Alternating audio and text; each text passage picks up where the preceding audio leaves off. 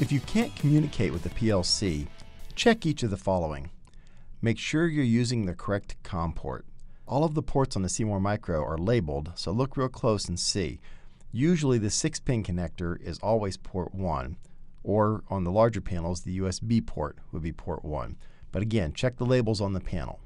Number 2, make sure the correct COM port is selected in the project.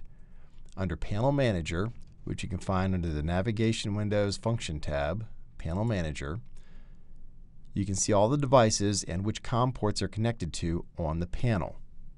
Note that this is the C-more Micro's COM port, not the device's COM port or the PC's COM port. Click on the device and you can see all of the COM port parameters associated with that COM port.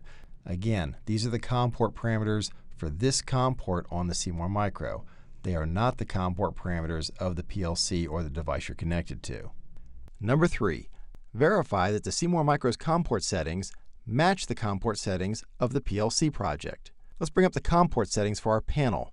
That's under the Navigation Windows Function tab, Panel Manager. We click on the device connected to COM port 1, which is the one we're interested in right now, and we see all of the COM port parameters. Keep in mind, these are the COM port parameters of the panel's serial port, not the PLC's.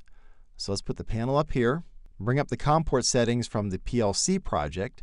This is from the Click PLC software. So here's our panel, here's our PLC. Comparing side by side, we see that they're both operating on the same address, 1, same baud rate, same parity, same stop bit, and 8 communication bits which are assumed over here on the panel.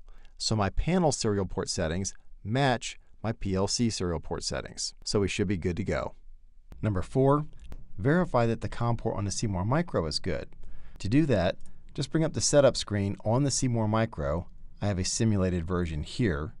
Go to the test menu, and there's a serial port loopback test. You will need a loopback cable or adapter, which you can make yourself using the instructions in the hardware manual.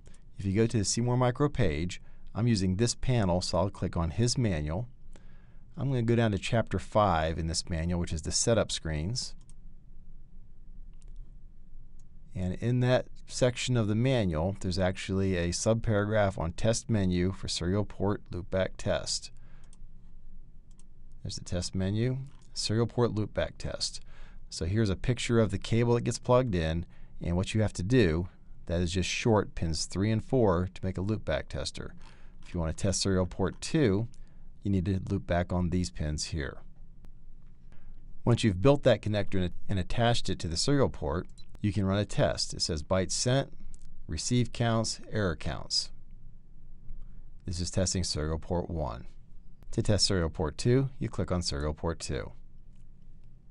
Finally, the last hint on how to debug COM issues, number 5, is make sure that the PLC is grounded and it's using the same ground as the C-more Micro panel.